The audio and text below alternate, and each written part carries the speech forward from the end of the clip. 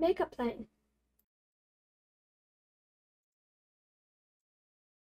Subdivide it up. In the Physics tab, add a dynamic paint and then add a canvas. Set surface type to waves. Add a subdivision surface, setting both parameters to 3.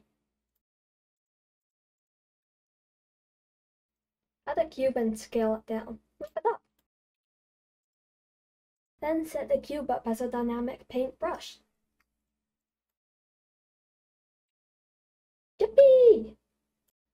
For the water, just make a glass shader and turn down the roughness.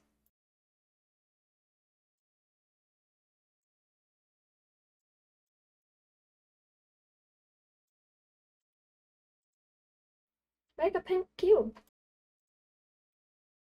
Woo! Now you can make renders like this.